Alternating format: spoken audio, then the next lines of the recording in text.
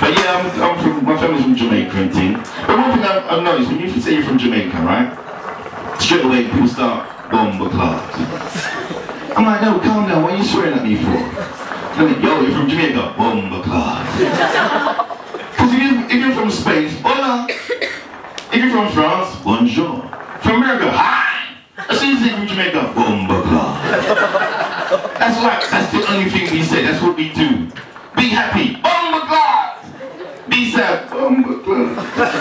Be angry, clock. Be confused, bomber clock. It's not good, it's not good. We have a beautiful language, a very, very beautiful language. You know what? When you listen to a Jamaican man, the man just talk to lovely and sweet and delicately. You know, I look like you beautiful ladies and all you just look lovely and nice. You just wanna picture like you are a flower. That sounds nice, isn't it? I'm changing everything. The Jamaican language is now gonna be the language of love. Because I'm telling you right now, only Jamaican can walk up to a woman and say, yo, yo boom boom fat, you know.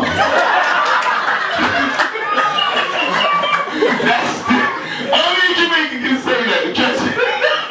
And that's how mommy and daddy did me. I'm telling you that right now. That's how mommy and daddy did me. Right? Your mommy, your mommy's in church, hey, name singing lovely and pretty and flower dress, dad walking suited and booted, tap your mom. Yo. Yo boom boom vibe, check out. Your mom was shocked, looked the man up and down. What's weird? Him talk sweetie.